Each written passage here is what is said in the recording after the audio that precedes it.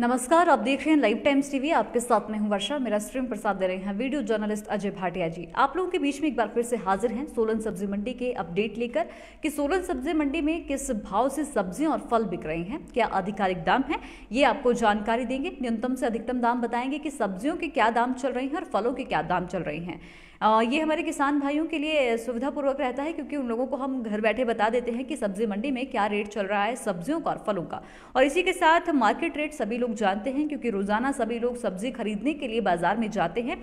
तो किस तरह से सब्जियों के भाव मार्केट में चल रहे हैं वो आपको जानकारी है, हो और इसी के साथ आपको, हम आपको सब्ज़ी मंडी के आधिकारिक दाम बताते हैं। ये वाले थोक भाव है। हम मार्केट रेट नहीं बताएँगे, आपको थोक भाव बताएँगे जो मंडी में रेट मिल रहे हैं सब्जियों और फलों के। तो इसी के साथ अब चलिए शुरुआत करते हैं। सबसे पहले बात करेंगे टमाटर की, जो सोलन की नकदी फ़सल है। और टमाटर की क्या दाम मिल रहे हैं, ये आपको जानकारी दे देते हैं। तो जो टमाटर के दाम मिल रहे हैं न्यूनतम से अधिकतम तक, वो सत्रह रुपये से तैतीस रुपये तक मिल रहे हैं। शिमला मिर्च के चालीस से पचास है, फ्रासबिन पच्चीस से पैंतीस है, गाजर दस से बीस है, बंद गोभी बारह से सोलह है। फुल गोभी पंद्रह से तेईस रुपये के बीच में है और हरी धनिया की बात करें तो बीस से तीस रुपये के बीच में मिल रहा है। इसी के साथ अगर बात करें हरे मटर की तो 28 से 35 रुपए के बीच में है। वहीं बात करते हैं बैंगन की तो 8 से 18 रुपए के बीच में है। कद्दू 12 से 17 रुपए के बीच में है।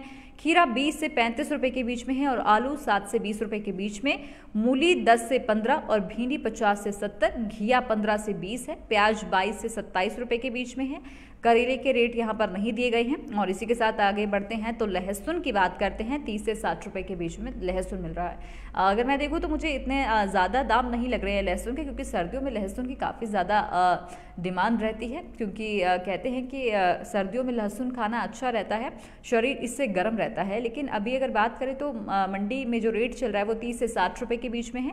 वहीं बात करते हैं अदरक की तो अदरक के जो दस से तीस रुपये के बीच में दाम मिल रहे हैं। और मशरूम की बात करते हैं तो सत्तर रुपये से सौ रुपये के बीच में मशरूम के दाम मिल रहे हैं। वहीं बात करते हैं, हरी मिर्च की तो बीस से तीस रुपये के बीच में दाम है, पालक दस से बारह है, अरबी बीस से पच्चीस रुपये के बीच में है तोरी के दाम नहीं दिए गए हैं। जिमीकंद की बात करते हैं तो अठारह से पच्चीस रुपये के बीच में दाम मिल रहे हैं जिमीकंद को। तो ये सब्जियों के दाम थे जिसके बारे में आपको जानकारी दी कि न्यूनतम से अधिकतम दाम क्या मिल रहे हैं सोलन सब्ज़ी मंडी में। अब बात करते हैं फलों की, कि फलों को न्यूनतम से लेकर अधिकतम दाम क्या मिल रहे हैं सोलन की सब्ज़ी मंडी में।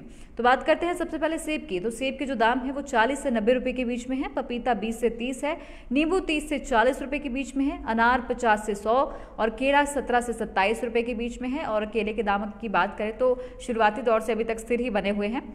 और बात करते हैं आगे, मौसमी की तो 40 से 45 और कीवी 70 से 100 रुपए के बीच में है, अनानास 35 से 70 है, अमरूद 36 से 50 रुपए के बीच में है, संतरा 40 से 50 है। और कीनू की बात करें तो 20 से तीस रुपये के बीच में मिल रहे हैं। ये सारे सीजनरी फ्रूट्स हैं, जो सर्दियों के दिनों में चाहिए होते हैं। और इसी बीच जो आज के सोलन सब्ज़ी मंडी के आधिकारिक दाम थे, उसके बारे में आपको जानकारी दी। तो इसी के साथ देखते रहिए ऐसे ही बहुत सारी अपडेट्स के लिए लाइव टाइम्स टीवी आपके साथ में हूँ वर्षा, मेरा स्ट्रीम प्रसाद दिया। वीडियो जर्नलिस्ट अजय भाटिया जी ने। धन्यवाद।